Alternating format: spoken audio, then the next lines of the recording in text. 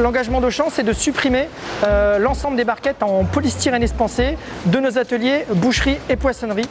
Aujourd'hui, c'est ce que les clients ont l'habitude de trouver dans nos rayons. Demain, voici l'innovation qu'on a fait, c'est les nouvelles barquettes végétales 100% compostables à domicile. C'est 50 millions de barquettes de plastique non recyclable qu'on retire de nos poubelles, soit l'équivalent de 1100 tonnes de plastique aujourd'hui.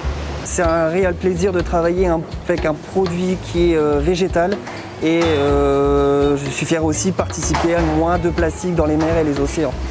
Les barquettes végétales permettent une meilleure conservation euh, du poisson. Les clients peuvent aussi euh, conserver leur poisson une journée de plus dans leur frigo et ainsi éviter du gaspillage. Bah, écoutez, moi je trouve ça très sympa, hein, le rendu visuel déjà c'est très, c'est très joli, c'est qualitatif. On fait un peu la chasse au plastique, donc d'avoir des alternatives plus écologiques avec des solutions 100% compostable.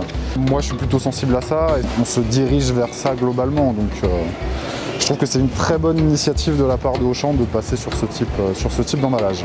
Mais je trouve que c'est une super initiative. Euh, voilà, moi, j'ai un compost et savoir que je fais un petit geste pour la planète. Et la démarche, franchement, la démarche, c'est bien parce que faut, justement, il faut aller vers ça. Donc il faut trouver une autre solution, une alternative au plastique parce qu'il y en a trop. Aujourd'hui, on peut proposer justement une innovation qui va, marquer l'histoire de l'emballage grâce à Auchan.